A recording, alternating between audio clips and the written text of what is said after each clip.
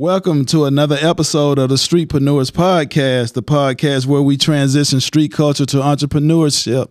And today I have a special guest, um, the food truck business. We want to talk about it. I have guests who have been in this industry for maybe a couple years. And um, I found these young ladies while I was out shopping myself for vegan food, and I came across them, and I thought they had a really interesting story that the world would like to hear about. I would like to welcome Sometimeatarian Food Truck Business to Streetpreneurs Podcast show today.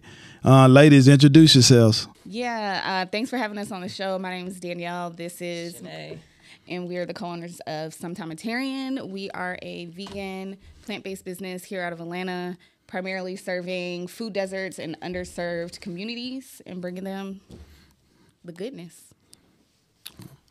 And you know the question everybody wants to know, including myself, who came up with the name Sometimeatarian? Please tell us what does that mean and just, you know, the whole concept behind the name. Absolutely, yeah. So the word Sometimeatarian kind of came about. Um, I initially was the first person to go plant based per se, and every time we would have friends and family over, they were like, "Dang, like."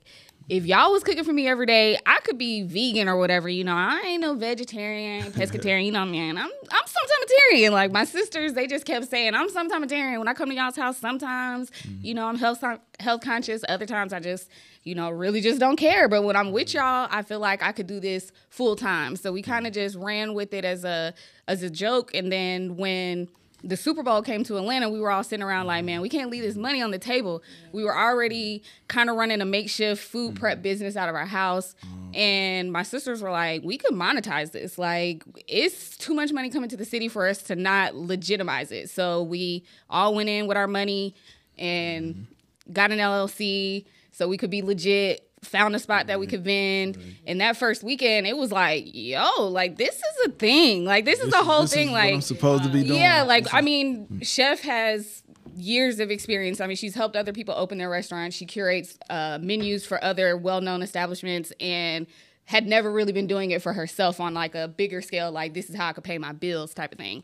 So after that first weekend it was kind of just like a jug and we wanted to do it the right way because when you're dealing with food you can't.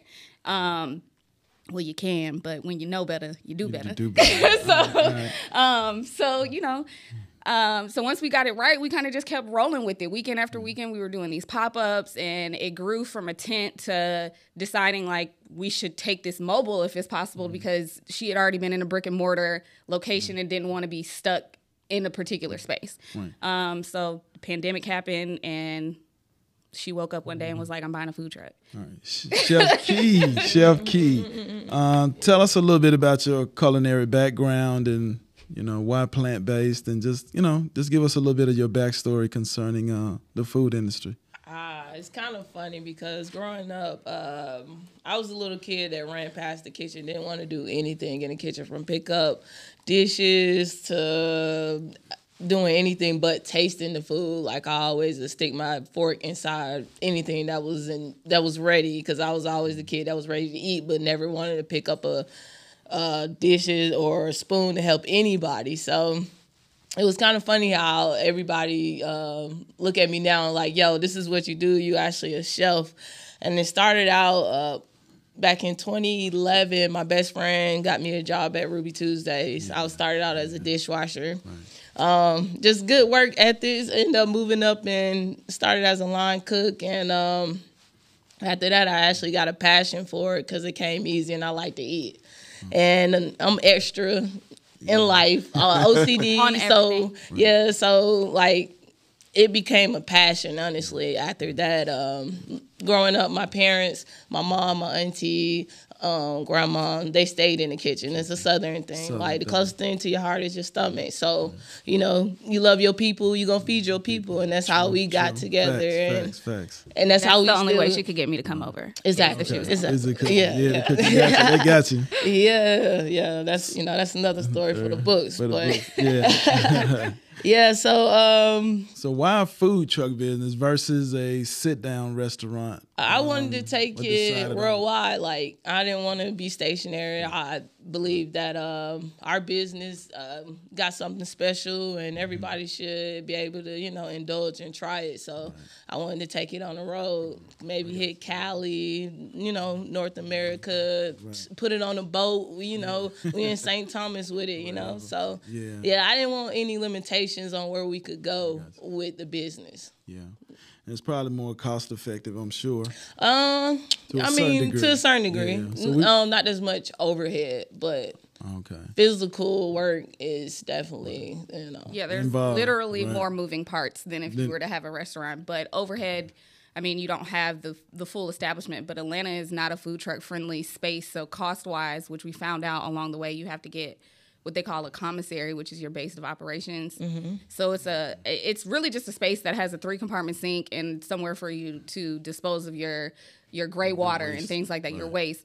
Um, but in Atlanta, it, they're far and few between. There's not a lot of spaces that even exist for that for that to even for you to be legal essentially and the places that they deem as commissaries are far and few between so if you wanted to go and build one out to get it licensed i mean we waited almost three years for ours. Yep. with them having our money i won't name the county. That's but but it yeah it's it's atlanta is just not a food truck friendly place. It is becoming more food truck friendly now that the pandemic and everybody was forced to do to go businesses. A lot of mm-hmm. larger brands started to try to go mobile and realize that the legislation that's in place right now is not really beneficial for a mobile business. Friendly to us. Or equal. yeah oh, yeah but they're making changes. Right. I want to touch on budget and cost. Okay. Um, what were your startup costs? You know, to get the food truck business going, to equip it with the proper um, equipment, licenses, permits, things of that nature. Just give us just a small breakdown of the startup costs. Okay. Um, so your truck itself, you can go if you're doing it bare bones. We purchased the truck um, prefabbed. Somebody had their financing fell through, so we came up on a truck luckily on Facebook Marketplace. So you can look on the buy here type of places and buy one out, but you got to know what you're looking for because there's a lot of people selling duds. Don't buy anything from flooding states. You know, it's the same as buying a car if you're gonna buy a used car. Um, but as far as the shell of a truck, you could probably get one for five thousand dollars, and then after that, you're gonna probably put another twenty in it just because kitchen equipment itself is Into expensive. the build out. Exactly. It then really- it depends on like what's your business. So Exactly. You have a lot of barbecue trucks, which you know they're going to put a lot of fire pits and everything, grill. grills and everything in the back of theirs. And then you know you got a lot of people who do seafood and or New Orleans style gumbo, so they probably need a lot of uh, refrigeration. refrigerations and uh, stove tops and all that. So it's it's just mainly depending on yeah, yeah, what, what you really need. You know, um, What I would you What would you say was your biggest cost? uh, my biggest cost, I would say my truck. Yeah, the food truck and, uh, and all, like with the equipment included, was my biggest cost Oh, okay. um, thus far. It's still growing because we we had to add on and everything. Um, but yeah, out of right out of pocket in the lump sum, I have to say was my you know getting my food truck and getting it fully equipped. Get fully equipped. Uh, let's touch on revenue. Um, what's a good day and a bad day, dollar wise? And sometimes, like we've been out there knowing to make maybe a hundred dollars. Sometimes, and sometimes we can pull out of there and make three thousand dollars. And depending on the hours as well, we can sit and make three thousand dollars in four hours, or we can sit and make a hundred dollars in four hours. It just totally depends on your crowd, what festival you're doing. You know, if you end up popping up somewhere, you know, just make sure that it's in like a public place. High traffic location. Um, Yeah, yeah, yeah. You High traffic doesn't necessarily even equal money. That doesn't necessarily mean anything because you can be in an area that people are going by, but if your hours that you're open are, you know, during commuter hours and people don't necessarily have time to just stop because the food truck isn't fast food. Everything's cooked to order for the most part. So if you don't have the time to wait To at wait. least 10 minutes, I mean, the majority of our items are there everything is made to order for except for the cobbler or drink you know Mm-hmm. could be quick or maybe if you get a biscuit five minute turnaround but everything's made to order. So if you're not making sure that you're in a location that patrons can actually come you have proper mm, parking It's not you know, like they're on their lunch break and they have Exactly. I mean, now some places you can do that, and if you're in those areas, like when we set up at hospitals or things where you do need to do a quick turnaround, then you may need to tweak your menu if it doesn't, you know, already allot you to do something that's a quick scoop and go or a grab and go option. I got you. Um, which you know, fortunately, with our business, our menus they change with the season. We partner with local farms, and our menu is always curated of what is available to the people. So that helps with you know our business model not being stuck. Okay. Um, back to startup costs. What would you say your startup cost was? Like fifty thousand, Mm, easily, 30,000. yeah, about forty five thousand. forty five. Forty five thousand. That includes the trailer. Some, the, well, honestly, okay, we got a trailer. So with the trailer, you need something to pull the trailer with. Right. Why did I get a trailer before a food truck? Is because food truck you can easily go out. Like the engine can go out, and then your your business is totally Gotta destroyed. You know what I'm saying? You So got a good point. you know, you could be in the midst or in transition of going to an event and something You go got wrong. maintenance and fuel costs. There you go. Um, but I can easily drop my trailer and call my dad and like, hey, dad, I need you to drop my trailer at this spot, you know, and boom, Or I can keep it U-Haul. moving. You or rent a anything. U-Haul or anything, you know. Yeah. Yeah. Um, so that's the reason why. But with something to pull it with and the trailer, I believe you walking out roughly about seventy five thousand. Yeah, depending on what your- 75,000. What your towing That's vehicle not is. bad. Yeah. It's not too bad. seventy five thousand, and that's without permits or anything else. That's just mainly the trailer with equipment and something to pull it with. Right. What would you say is your average profit per month? Uh, It varies. yeah, It varies month to month, just depending on what we have going on. Uh, if we're doing a heavy catering month, I mean, it could be thirty thousand, depending on what's going on. If you're doing just vending for that month, it could be half twelve. That, yeah. it could be twelve. It really just depends. I mean, we are true entrepreneurs in the sense that we are evenly yoked in business and pleasure. Uh, we party just as much as we work. Yeah. Um, so it really just depends on the month. If we have a great month and sales were phenomenal, then we're Mm-hmm. like, "You trying to go to Barbados?" Like we, we're out, we're go. out. Like Let's so, go. so we're we're not concrete in our hours. So as far as month Oh, to month, it's not our our revenue is not the same. Just Yeah, definitely try to have have that on. balance. Like Yeah. it's important. It's important. Okay. Yeah. And uh, locations. I mean, how do you pick locations? So Or is it more? Because I know it's there's a lot of food parks here Mm-hmm. in Atlanta. I know they have a lot of new ones that they're setting up currently. Like you said, it depends on which county you're in. So how do you know which location is going to be more profitable versus another location? Yeah, so I the know a lot of people trucks- struggle with that. The food truck parks are great. They're phenomenal. Um, they definitely are trying, and I will say trying because the counties restrict them from allowing a lot of business to be able to come out. The requirements that are on the food truck side are quite, they dig deep in your pocket. So then if you have to do that to go to each each county you need a permit for. Anywhere you pull your oh, truck, Oh, okay. it's not like a driver's license or a You gun can license. just where you pull up get and go wherever. No, you want to pull up somewhere. If we had the truck with us today, we would need to go and get for DeKalb County. We would need to go if we want to go to Fulton County, you need a Fulton County, and then even more so if you go in the city, then you need a city of Atlanta. So it just get depending on where you are, the, it can get deep on top of your fees. So Every first we you always look a at that. permit. So what were some of those requirements that they? Um, so every place is kind of different. Like some places will have a flat fee. They'll say, you know, two hundred dollars a day. Some pl- some like if you want to do a larger uh, jazz festival type of thing, they may say two thousand dollars a day plus ten percent of your sales.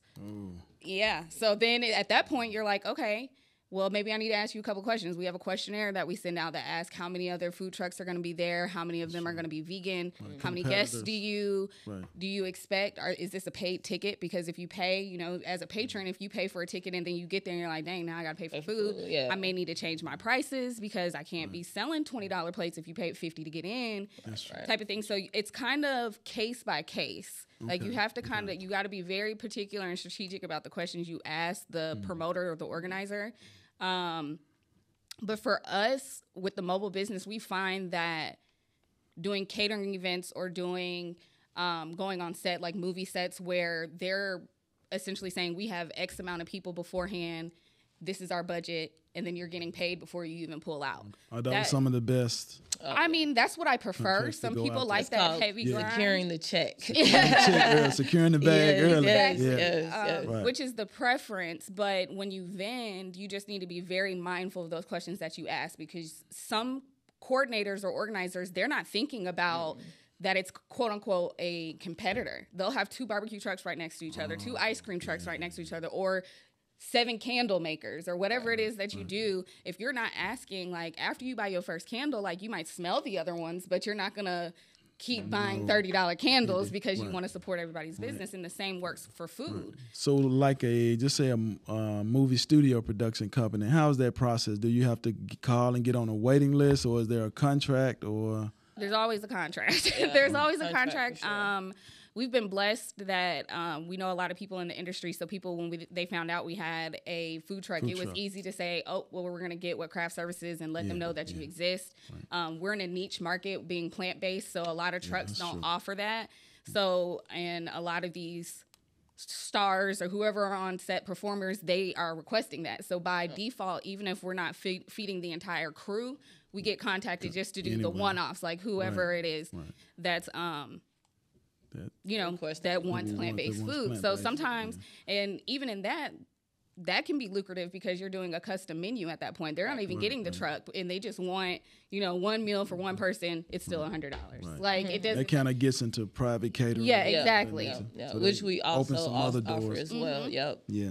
I want to touch on menu. I know you have a, a vast selections on your menu. Who comes up with the idea of what goes on the menu and or you do let me sample this, let me get some family members over to try this. Um, all of the above. How It's- does, how does that process work? it's definitely a team effort. Uh, we come up with cravings. Um, Danielle would be like, "Yo, babe, check this recipe out. Either you can make it, but I know you can make it and twist it up and make it as your own thing." So I always take it as a challenge, and that's how we end up coming up with just random menus and menu ideas. Um, my family loves it. They Uh, they'll come eat at our mm, house and then turn around and try to make it back at home. So I know I put a staple in, in that. So and they are far from anything close to plant based. Oh, for sure, Like, for sure. These folks are still eating chillins. Okay, mm, Yeah. like, like, they are Yes. they are not concerned. But yeah, I mean, a lot of it is just based off of travel and wanting mm-hmm. what we, mm-hmm. you know, when you go vegan or whatever it is, whenever you're doing a, a diet transition. A lot of the complicated side is because you're gonna miss, like, oh man, I'm gonna miss a crab boil. Oh, I'm gonna miss my mama's chicken and dumplings or whatever it is like whatever it is that i crave that i used to eat is how we make the menu. Because in atlanta i don't know how often you go out and eat plant-based options. Everybody has a burger. Everybody has Yeah, fried cauliflower. Everybody got a salad. It might be a really nice one but it's not like you're not on a diet. Like the- you're Right, trying right. to eat and survive and if you're sitting next to somebody else having a five course beautifully laid out meal and you're over there eating nothing, you're mm. upset about it and you still got to mm. cash out. So really we just wanted to bring our people elevated healthy experiences because we mm. deserve it too. Right. Do you have a signature dish that you're known for? Our, I uh, would, which It's kind of do you like think? you know, it's kind of how Slutty Vegan branded herself. Yeah. Um. Well, it started out as our sometimey burgers. Like Yeah. we, I started guerrilla marketing like out my trunk, my burgers, going to like each building, selling them my burgers, and um, that was our first staple, what we was known for. And then uh, we got the truck and started building out more menus, and now people love our yakisoba um, noodles, and now they like our Phillies, and like you know, So there's not one- It's not one one, that we're known of, yeah. And then our rusted apple cobbler that we brought you all today, like Okay. Yeah, know- the cobbler is the only thing that actually stays on the menu year round. Everything else changes, but we've tried to take the cobbler off, and people are like, "I'm sorry, I'm sorry, back. what? Bring Like it I only back. came Yeah. for the cobbler." For the So- exactly, yeah. Yeah. So that's the only thing that really says. So I would say the cobbler, but I would think it's the noodles. They've kind of made their way as a staple The too. noodles? The yakisoba noodle Yeah, is I have the to try that. I'm gonna have to try the noodles. yeah, it's a um, it's like a dry ramen noodle with a, a house Manchurian sauce with sautéed peppers, onions, bok Mm. choy, broccoli, red and yellow cabbage. Let's get into ingredients. Um, tell us about some of the ingredients that you use that are plant based and what separates, you know, your um, your items versus someone else.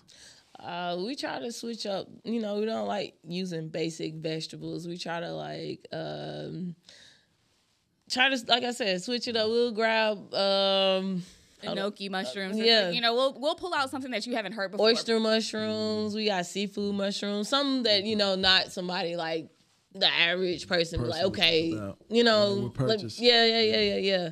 Um, even with the flavor, honestly, I think our season and um, just separate us from a lot of um, other companies. Um, just the loving in our food, you know, With the Uh, flavor. right? And then it's a lifestyle for us. It's just not a business. Like this is our lifestyle. So Right. it's, it's passion. You know, what I mean, you you can tell the difference. You know, you can't.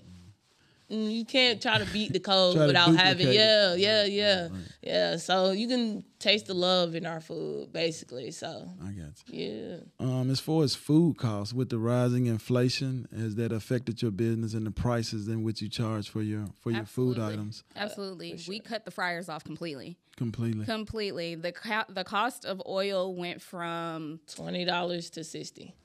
Overnight. Mm. Like it was like we bought some today and then went the next day and we're like, oh, the sticker mm. is wrong. Like this is before they were talking about Yeah. inflation. Like you did, we're just in Restaurant Depot, like, mm-hmm. oh, they made a mistake. Get to the front, and they're like, that'll be three hundred dollars, and we're like, oh, we have like nothing here. Mm. I'm Yeah. sorry. Like, can you recount? Recount that again. And, and Restaurant Depot's like Sam's, where they're like counting all your items before you check out. So you're like, yeah, I only see eight boxes. Like you're confused as to where the math is even. Is it from. cheaper when you go to food wholesalers, or tell us about? Yes uh, and what, what no. are some of the companies that you all use to um, purchase your food in wholesale? Uh, Restaurant Depot, all the wholesalers, Costco, Sam's Club. Um, we go to all of them, and then farmers markets and local um, local farmers and growers. Um, I definitely think when you're going vegetable route, go local. That's always going to be the better bet. They're gonna they're going to sow into your business because they don't want any waste. The period. Like they're growing it, they send it to places, and whenever the vegetables go, like if they have a really big contract and they send it out, and they have any bruised items or things like that, they don't look gros- grocery store ready. They're gonna get thrown away. So they would rather go to somebody who knows that all fruits and vegetables aren't perfect Right. and will actually work with what they got. Um, so you're gonna always get a better deal if you go straight to the man. Go straight to the source first. Same goes to if you're a meat based business. Go to the butcher. Don't go to the grocery store. Like go directly to the the farmer. Get your food there. right. You always get a better Probably deal. get a larger quantity too. Absolutely, sure. and you'll Yeah. know what's in your food. Period. That's. Like you'll just know what, organic, fresh, it's exactly. not- You can ask the questions. I got you. Um, and then when it comes to like packaging, like if you like your to go wares and things like that, you kind of got to shop around because they're all mm. competitors. They're looking at each other's prices, and mm. each week it's not the same, especially with this inflation stuff that we're still experiencing. Mm. Um, you kind of got to shop around depending on where you're going to be. And I'm sure just as going out to eat yourselves, you can't be stuck on one item because it's not going to be available if you you know you like this really cute box that you think this is perfect for our cupcakes next week you're going to go and they're like good luck. like there was a point where I'm, we we make our uh, custom lemonades and we used to always bottle them and use a specific cup. They did not have our cups for six months. Literally no plastic cup no plastic lids period. The clear regular cups that you get to go places. Right. non-existent. And let's talk about branding. What are some of the strategies that you use to um, to brand your company? Is it more like uh, see a lot of companies have their logo on the cups or their bags that have the logo with the packaging, like you just kind of mentioned. Let's talk about some of your branding strategies. Uh, we honestly, to be for uh, real, we still struggling with trying to brand ourselves. Um, just being open and honest. Um, that's one of the hardest and toughest things to um, do right now. Um, like I said, we got hats, we got you know merch, uh, we have stickers as well. Um, but like that's that's in the budget too. You know that costs as well. Um, but we try to do as much as we can social media try to brand ourselves um we still looking to rebrand Yeah, but, But- as all entrepreneurs, it's like wearing a million hats. You know what I mean? Yeah, if know. you're if you don't work in branding and marketing and you're figuring it out, you know, every day we're self teaching ourselves how to use Canva and whatever it is outside of if we're not hiring somebody, which like she said, it's you know, then is that in the budget? You always have to put it in the Yeah, budget in some type of do. way. Always, yeah. Um, but how deep do you want to dive into it? How well do you know somebody who's actually going to give you something in return? I'm a creative, so sometimes I see people's work and I'm like, "We paid for this?" Question mark. Like, uh, you know. Uh, uh, so it just depends, I'm you know. struggling with that now. Exactly, I know all 'cause too I mean, well. when you and then if you're a perfectionist, you know what you envision for your company. right, yeah. I mean, that's where the struggle is. So, you know, listeners, if you in branding and marketing and you'd like to hit us up, check us out. We'll love to see what you got going on. But it's it's you know, that is definitely a struggle. If you were to say where's our biggest struggle, it would definitely be branding and marketing because it's a learning curve. Like it's Mm-hmm. it's taking the time to actually you know, learn the tips and tricks on what are the right ways to actually go about doing that outside of word of mouth. Okay. And uh, how's the ordering process? Do you all do um, the delivery apps? How's that particular part of your business working? Do you use DoorDash, Uber Eats, or that's part of your Yeah. strategy that you use to keep sales coming in? I know the fall winter season is coming, so I'm pretty sure you're looking at Yeah, um, how to strategize for that because I'm sure absolutely. the lines are going to kind of slow down versus with the weather Yeah, so actually, food truck season is technically over as far as seasonally. seasonal. Um, right? it it ends at the end of um, July. Is technically the end. Like when they close the pools, is when you're supposed to pack up your food truck for the season. Oh yeah. that's- Um, we that's primarily September. like roll into ca- heavy catering come the winter seasons because it's holiday season. So we start promoting all of the our holiday menus, and that's primarily where we pull in our money is all catering orders and doing holiday parties. And some people do want the truck, and we'll pull up to their businesses and do things like that. Right. Um, but yeah, it it starts to get tricky come the winter. Okay. Because I wanted to make sure you had a strategy in place. I'm sure. Yeah. Like you Yeah. said, the catering would be yeah. definitely um, a good strategy to use during the, uh, the holiday season. Uh, how many people would you say you serve on average Uh, during the food truck or in, catering in wise? the, in the food truck? Uh, de- like I said, depends on where we at. If we do a pop up like somewhere randomly on side of the road, we'll probably serve maybe fifty to hundred people. We do a festival, it can be minimum of two hundred people to maybe about five sits. We'll see. Okay. And sometimes, like I said, we do a catering event where we'll pull up the truck and they might have a thousand people out there who we cater, or a wedding who might have like two or three hundred people that we cater to. It just it just depends. Okay. And what separates um, your company from other food trucks? What separates you from your competition? I say our passion, honestly. Um, just for me, like I said, uh, it's a lifestyle for us, um, and it's really no like our our thing is we don't try to compete with anybody. We like to see everybody win.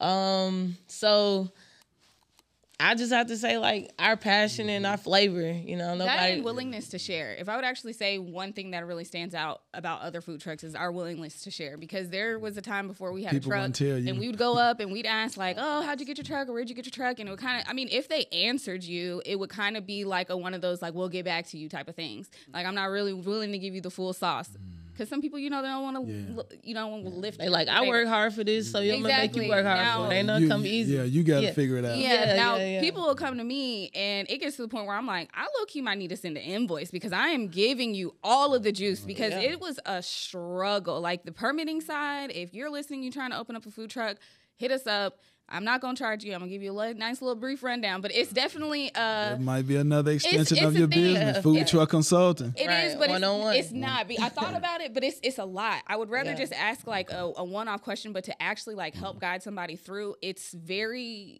I mean, it could be a business, but it would have to be what I want to do because it's very specific. It's Or do a workshop or It's definitely do a holding Yeah, live you stream but that's the and then charge people $99 to come in. It's not that easy. Like you would love to be able to stream streamline it and just give a Brinklet course, but it's Every so county different. county specific and business specific. because with us being food based, a lot of the rules that currently existed, we were able to find the loopholes around them because we don't have meat. Yeah. So cross contamination, the things that in the very beginning when we got our truck was 2020, so everybody was shut down. Yeah. There was no getting any type of permit. You weren't going to get your license. It didn't matter because the health department Hmm. was closed. So were you operating during the pandemic? Absolutely, we were operating because everybody else was operating their businesses. We still needed to eat. Absolutely, we were operating. However, we did it legally by getting what they call is a uh, a mobile cottage. a, a license. cottage license, which allows you to operate out of your house. However, if you operate out of your home, your menu has to be very specific, and it has to be everything is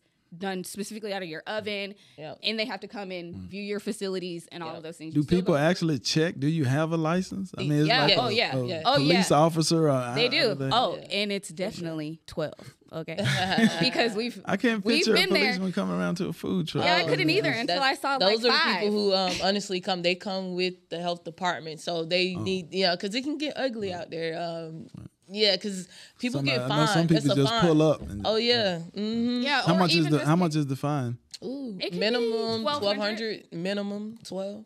And that's like your first one. Yeah. Oh, and then after that, they're like, here's a steeper one. And then your third Shut one, shut you down. Oh, you're not getting a license again. Like Ever, you yeah. will rebrand and find a whole nother company name because you can no And- longer have a business. or in this county. I didn't know Yeah. that. Yeah, it gets would- serious when you're dealing with that's Some food. good information. Yeah.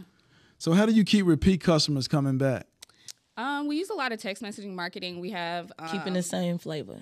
that yeah consistency we we definitely and then we sew into it we treat everybody like their family Yeah. i try to remember your name i'm a face person so i might not necessarily know your name but i always will know your face that i saw you somewhere and where i seen you from um, so just making it personable making sure people feel like they're at home um, we offer what we call as the secret menu item which rotates either daily or weekly just depending on what the harvest is looking like. And all of our regulars know that that's what you can get that's always going to change and it's going to be like coming home to dinner. And you don't know what your mama made but it's going to be good type of thing. Yeah.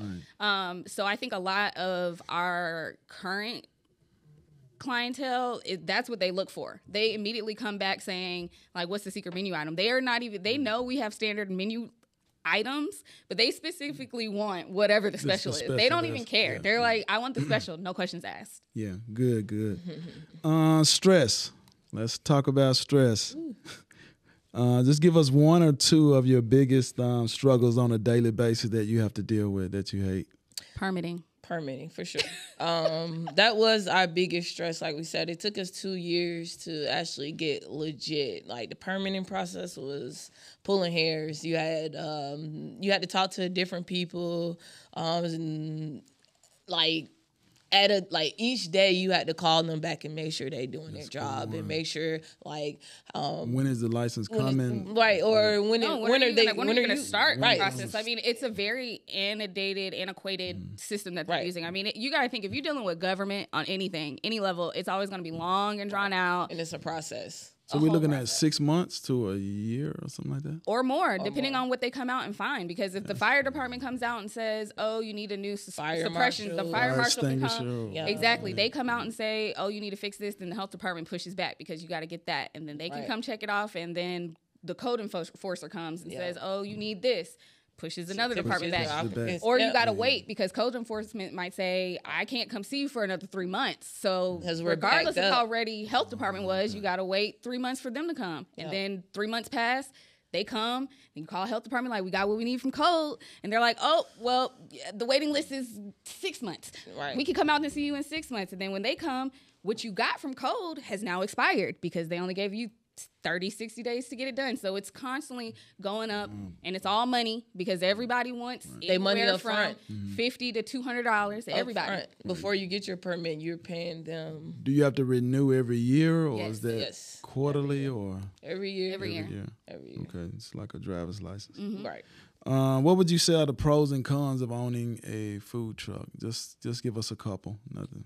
The pros is that um it's yours, you know what I'm saying? Nothing like entrepreneurship, like owning something and you'll be able to um hand it down and you know, it stays in your family and you know um but the cons uh, i can say is is yours so like Right, right. everything that um that when it comes down to paperwork and stuff is on you um that and finding your drive because when you go to work every day you got hired for one role in a company you know? No matter how big or small it is if you get hired for a startup and there's 10 people you're only one tenth of the equation. When you start that company if you have zero employees no partners it is you Yeah. so from everything from customer service you all the of that. chef. You don't like talking to people. She's she's a very shy person in the moment. So even having this, saying the camera is here, we're on mics, all of this is very out of her regular whatever. She don't seem like it. now. because we prepped. I asked you, is oh, there okay, going to be okay, cameras? And we know that now. We got to Yeah, ask you these did questions ask in me that advance. question. You did so I can me. say like you. Gonna I'm be like little camera. baby. I'm like I had to change my way. So you know.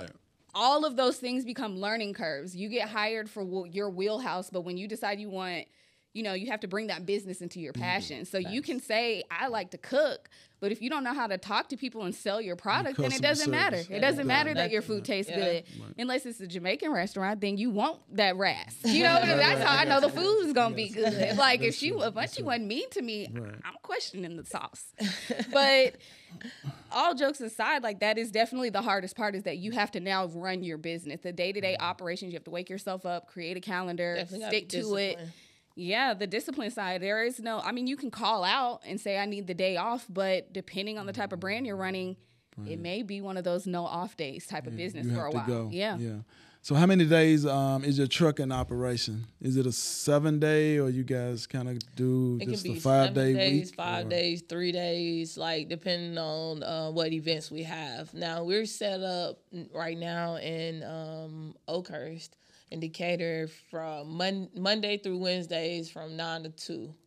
Trying to see, you know, um, get a new um, area, and they don't have any vegan um, spots over there, so desert spots for a vegan spot, you know, a restaurant. So we're trying to see How that works? how that's out. gonna work. Right. And then we also have events on during the weekend as well, like pop up festivals events that we do. So it can go from either three days to seven days.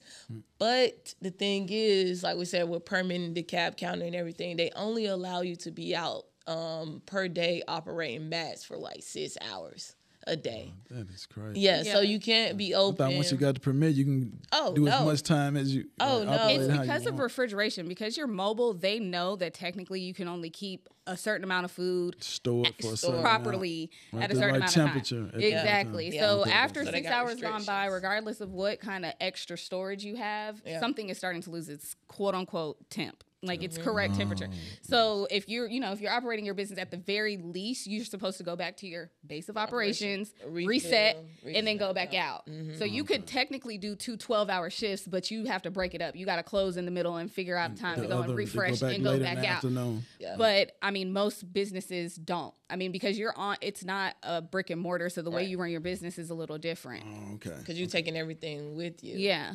Yeah, and as well, you also have to shoot a log out, a route log out to the health department to let them know Where you're you- gonna be. where you're gonna set up at as well. So you can't just They just want that switch it every up. day. Absolutely, Oh, because they want just like a restaurant to pop up on you and do a health inspection. And then you gotta also send them your menu. So Mm. you know, once you change your menu, you gotta shoot them a message like, "Hey, my menu changed I up." did not know how oh, that took oh, place. yeah, like it's constantly each week updating somebody else about your route and your menu and everything. And they can just and they pop give you the and just- okay. You gotta wait for the okay. Once they send you the okay back, then, Then you can go. You go. yeah, you can make that change. Which Mm-hmm. is why when people reach out and they're like, "Why don't you come over here?" and you're like, "I We would love to, but It's it's, not." the law. yeah, most of the time it is technically against the law. You know, they'll say, "Oh, this this parking lot, you have to be." I think it's like. 400 feet 500 away feet 500 away. feet away from a, another food establishment Yep. as a mobile mobile food business you have to be 500 feet away from an actual brick and mortar without their permission so if there's a restaurant there like where we are now there is a, a bar that's about it's more than 500 feet away from where our tr- actual truck is but technically DeKalb County could say if that restaurant wasn't okay with us being there we need to leave Yep. Right. the restaurant will win Okay. I've also heard um, from me talking to some other food truck drivers, they say it's best to stay at one location over a certain period of time, maybe like a year, Mm-hmm. to kind of build your base, your customer base. yeah following Is that important versus keeping the truck mobile all the time, or I mean, I think it just depends on how you started too. yeah. You know, if you have the type of business where you've always been mobile, like some people stay underground and it's like right? pickups, I do drops or whatever, you know, like how we started. It was we only did Burger Friday to the public. If you wanted to catch us, it was on a Friday and people knew. Like I gotta hit you up and see where you're gonna be dropping burgers. So if you already start, because that's how Pinky did with Slutty Vegan. She wasn't always in the same spot. You had to follow her, get her text messages, be on Instagram and catch the truck essentially. Yeah. Um, but yes, if you're gonna if you want an actual following and you want a standard location, it's brand for brand kind of makes that decision for themselves whether or not staying in a location, but finding that actual spot It's that gonna isn't gonna charge you. Yeah. because most people gonna want something for you to be on their property Right. that is legal that you can get signed off on. If you can find a spot that's lucrative, then I will always. I tell people when they ask all the time, I would always get a permanent spot. If you can have your own spot that you can go to with no questions asked any day of the week, Then I would do it. Right. However, then you got to ask yourself: Is it you know going to pull in your business?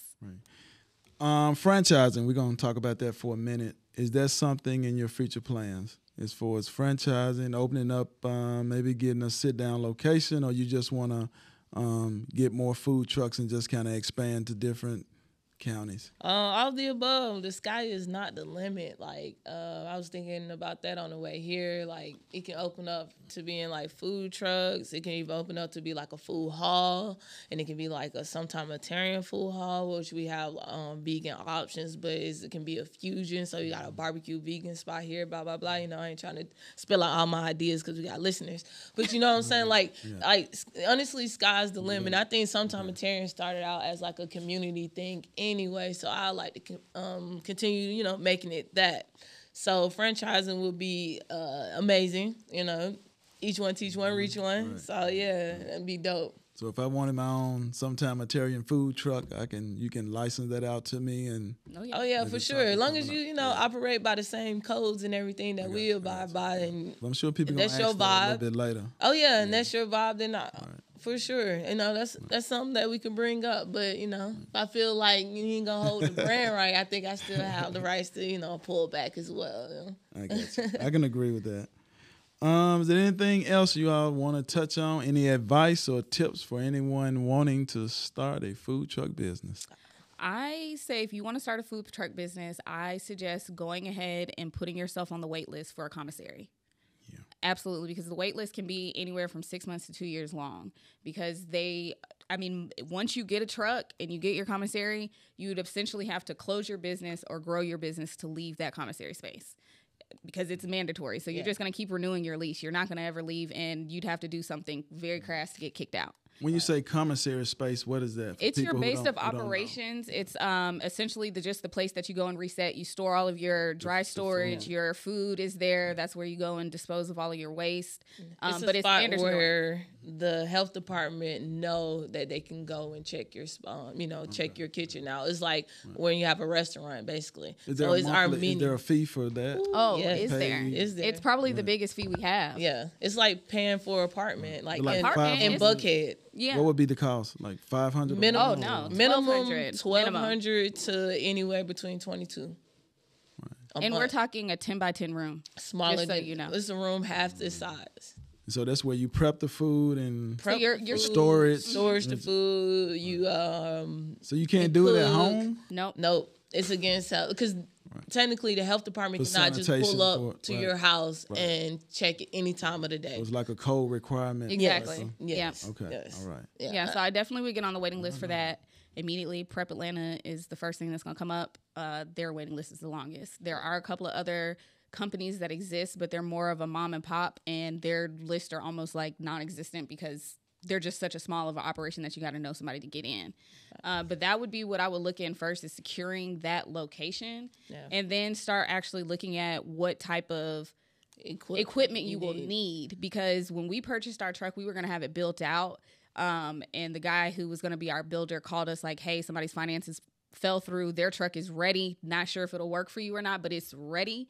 Um, it wasn't exactly what we envisioned, but the equipment itself would, would qualify what we needed. So we ran with it to instead of just waiting for the perfect equation, we can reconfigure at any point. Right. Um, but had we not, we could have potentially overpaid for certain things because if you don't need ref- if you don't need fryers, if you don't need refrigeration, it just depends on the type of truck Don't do it. you're gonna have. You know, you want to make sure you know exactly what you're gonna need. What will your startup cost for its equipment? Is it better to buy or just lease use equipment or I say buy outright. They don't have to be brand new either. Um, we was fortunate enough for us to come up and before the pandemic, and we was able to get everything brand new. It was oh, Okay. it was cheaper than it was is now. Everything then doubled and tripled.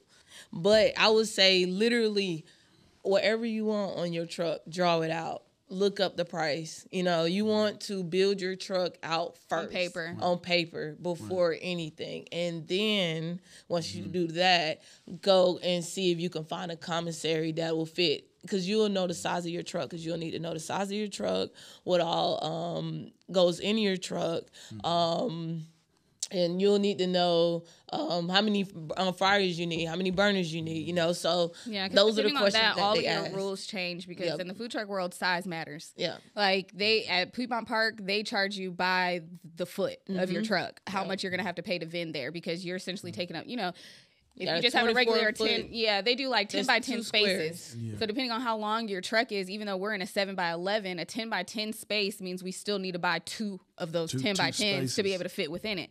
So if one space is a $1,000 because my truck is longer, which we actually have one of what would be like the smallest trucks you can get or trailers, we still have to purchase two slots. Right, so it's like you're a twenty by it'll be 20 by 20 at that point Right, but i mean we don't need that much space but they're going to make Charge you. exactly Right. so Yeah. depending on the type of event you're going to want to do is going to determine how large your, your truck is going to be. We have Mm-hmm. a friend who has a barbecue business that mm-hmm. their truck is actually too large for what they actually do. Like they mm-hmm. they're it's sexy. Their truck is nice, nice. they got a hundred thousand dollar truck that got every bill Cadillac whistle. It clean. is mm-hmm. in nice but their menu doesn't even require them to use half of their square footage so they're paying for which is why we didn't want a restaurant initially because you don't want to pay for empty square footage. The losing on the profits. Absolutely. So, or maybe reach out to another business and ask them if you could shadow a couple of shifts. See if you're even comfortable being in that space because it's tight. We're not big people, but it's tight. So when we, even when we have to hire people, how tall are you? Yeah, Can you even comfortably be in here Stand in the in this area? Can you Are stand on top of right. these fryers? Because in the mm. winter, I mean, in the winter you want the fryers because it's it's warm. But in the summertime, I mm. mean, the fryers themselves are set to 350. Your flat top is set to 350, and it's 100 degrees outside. No matter if the AC is on or not, you in mm-hmm. there. Yeah. Let's touch on team members for a minute um, before we close. Um, how is how important is it is getting employees? Oh, um, it's very important. You gotta get somebody that you trust, and it's hard to have, have find people that you trust. We was actually talking about this this morning. Um, I got some of my close to my best friends who actually helping me out um, on the food truck, and I was explaining how blessed I am to have someone that I can trust because this is my baby and this is my life. You know what I'm saying? Um, So with the team members, you gotta treat them, you know, like they your family because it's it this is you know your family at the end of the day. You'll see them every single you Yeah, probably gotta see them more of them. than You yeah gotta- your family. So team members are important. Um help is important. And that's it's hard to ask for help nowadays or just being an entrepreneur period because you want to do it all yourself Yeah. so once you find those right people who's willing to help you and um And budget that in because you're gonna have Yeah. to pay them, friend Yeah, or foe, sure. Yes, friend for or foe. Because Yeah. if you want the, because you get what you pay for. So if you keep getting a whole bunch of free help, eventually you're gonna be like, this is not mm, working out. out. Right. Like you're gonna actually have to look at your mm. numbers and make sure that you can pay somebody an mm. actual. Mm-hmm. What do you pay Livable them? What do you pay them per hour? It just depends on the event. Um, it can go anywhere from eighteen dollars an hour plus tip to Yeah. To a flat rate depending on if they're just coming into prep. We have some people who come in and prep and they make a couple hundred dollars a day just depending on what we're prepping for. Right. Um, but some of our window workers will walk away with four hundred dollars a day just based off of their tips. tips, The tips just depending alone. on where Yeah, you are. yeah. We got one um, one girl who I call Miss New York because she like. Folks just be throwing money at her. Like I'm like, how you get a twenty dollar tip off a drink? Like what happened? But So but they walk personality. with it. They walk sure. with it. Like So personality. Exactly. So you just want to make sure you get somebody that's personable. Yeah. You know, your recruitment process, go to other restaurants. You can't teach people to be personable. You can No. teach them your menu, but you can't teach people to sell. Like there's Mm-hmm. some certain traits that you just have to be embedded in people as a person. So That's when you're Facts. looking for those people, it can't always be your mama. Like she want to help you. Right. Yeah. She wants to help. Yeah. But like you can't always hire your sister, and your cousin, or whoever is willing to, even though they are like your number one supporter and you know like that is free labor, right they can help, but you have to find like sometimes a behind the scenes gig for them because every person the truck is the image. Whoever's in the window, that's your image. that's You can't have your mama back there licking the pot of potatoes. You know what I'm Exactly. saying in front of that. yeah, somebody chewing. Finger licking. Exactly. Mm. It- not Right. knowing Not because knowing. everybody All on their needs mouth. exactly. because they think they at home like Yeah, mom. because you're dealing Right, with food, so everybody really needs to be serve safe, compliant. They need to be Yes, yes. trained. We have you know, gloves on. Abs- Yeah, absolutely. yeah, Everybody goes through a training process. We got a, a manual for all of our employees okay. and stuff That's like that, good. which is the benefit of her having that knowledge of being in restaurant management. right. So if you've never done it before, just, you know, take a couple of e-courses on how to run a restaurant. right. Google what are different roles on a food truck. Yeah. You know, there's things that you don't know. You just don't know until you get in it and you're like, "Oh, somebody Mm. actually has to be the accountant." Keep receipts. Like Yeah, yeah, yeah. you know, just research heavily before you start, before you invest. Um, if you can get around it, like don't finance your truck.